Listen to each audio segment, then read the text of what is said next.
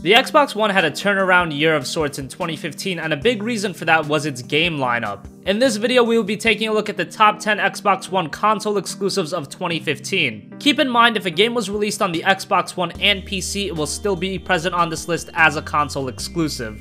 With that being said, let's get right into this. Number 10 is Massive Chalice. Massive Chalice is a turn-based strategy game developed by Double Fine. In the game, you play as a ruler defending their kingdom from an invasion. The game is played in two modes, strategy where the player is making long-term decisions, and tactical where you play in turn-based battles. It's a different take on the tactical RPG formula and it's a great game that only some people will enjoy. To inspire them his days. It takes mechanics that are popular in the genre and some that are unique and blends them to create a very unique game. When the game was released back in June, it was a free game for the Games with Gold program, and now you can pick it up for about $20. Number 9, Castle Crashers Remastered. Castle Crashers is available on many different platforms, but the remastered version is exclusive to Xbox One. If you've never played Castle Crashers, it's one of the most pure fun co-op games you're ever gonna play. It's a hilarious 2D side-scroller beat 'em up where you and up to three friends can play through the story together, slashing away at enemies all while gaining XP and leveling up. The remastered version also has better visuals and the game runs at 60 FPS. If you've never played Castle Crashers, you must. It's one of the best arcade games of all time and a must-own for anyone. Number 8. Smite. The MOBA genre has been one of the most popular genres in gaming for the last few years, but the games have garnered most of their fame on PC and never achieved much success on the consoles. But Smite on the Xbox One does a great job of being a MOBA tailored for console players and the console controls. The gameplay works a lot better than most would expect on a controller, and while it's not as intuitive as using a keyboard and mouse, it's not like the game has console and PC crossplay so everyone is on an even playing field.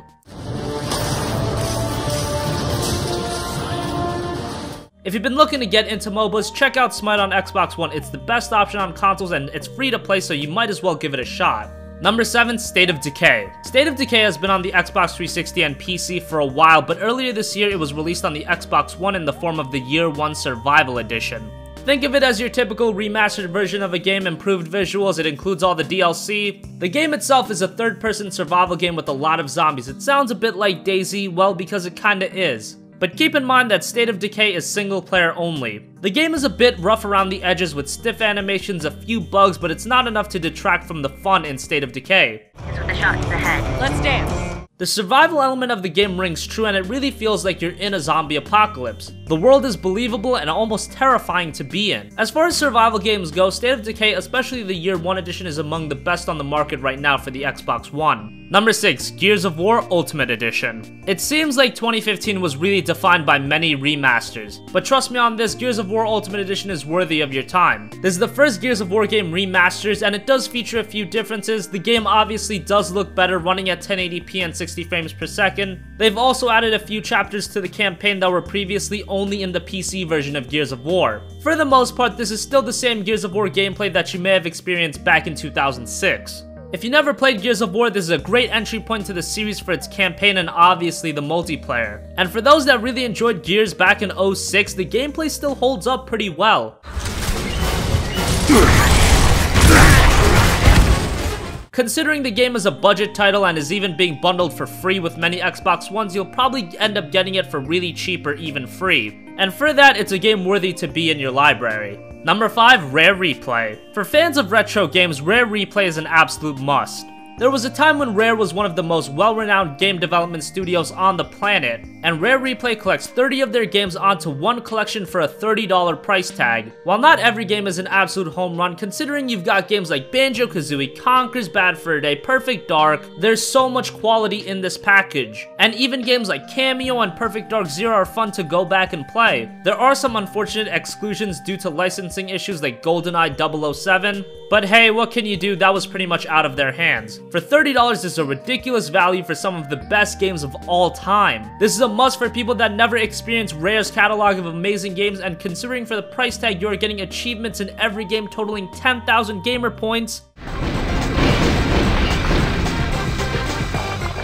There's a lot of replay value and a lot of content in this one. Number 4, Forza Motorsport 6. It's hard to argue that Turn 10 has set the bar for racing games. The Forza series has been a fixture on the Xbox platforms for over a decade now, And it's amazing that Turn 10 has not only kept quality consistent, but making every game better than the last. Forza 6 is no exception, and while it doesn't feature a host of completely brand new changes over Forza 5, it is a more refined Forza experience. The visuals keep getting better and better, the detail in the game from the terrain to the cars themselves look outstanding. The sound is on point and whether you're a car fanatic or a newbie to racing games, the Forza games do a great job of easing anyone from any skill level into the games. If you're looking for a racing game, Forza is by far the best option on the console, and even if you've never played a racing game, try Forza. It's a game that does a very good job introducing you to the genre. Number 3, Ori and the Blind Forest. This is one of the best downloadable games ever. Ori and the Blind Forest does storytelling in a way very few games can match. Right from the start of the game, you feel emotionally invested into the world and the characters. The gorgeous art style and the music also adds a layer to the atmosphere of the game. The gameplay is that of a very well developed platformer as you'll solve puzzles, jump and shoot, and while the game is a 2D platformer, there is quite a bit of exploration in the game and it's not completely linear. The art style is tremendous, the storyline is gripping, you'll be attached to the characters. Ori and the Blind Forest is an absolute must-play game, and one of the best games on the Xbox One currently.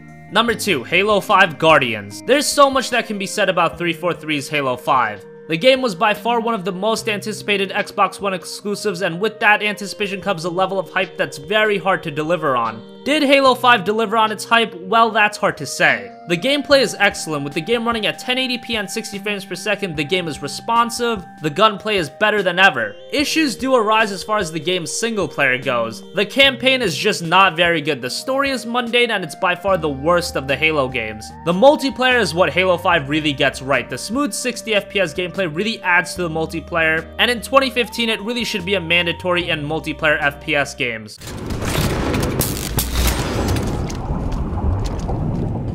There's a lot to do in the multiplayer from many different modes and content to unlock, it's all very fleshed out. And Halo 5 is a game that 343 has also been consistently updating to refine the experience and make the overall game better. If you're expecting something outstanding out of the campaign, well you're gonna be disappointed. However, as far as a multiplayer first person shooter goes, Halo 5 is very very good. Number 1, Rise of the Tomb Raider. It is really a shame that Rise of the Tomb Raider had to be released on the same day as Fallout 4. Because when you're competing with a game like Fallout 4, you're obviously gonna be swept under the rug. And that absolutely sucks because Rise of the Tomb Raider is one of the best games of the year. If you were a fan of the Tomb Raider reboot back in 2013, well then Rise of the Tomb Raider will absolutely blow you away.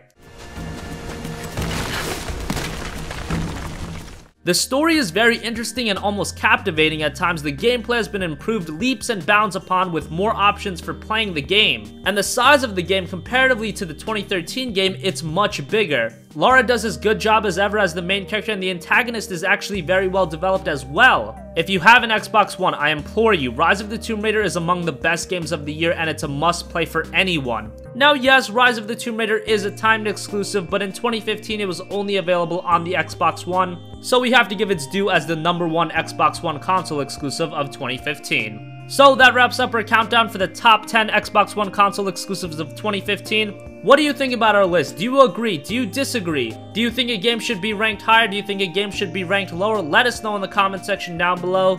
Thank you for watching, have a great day, and goodbye.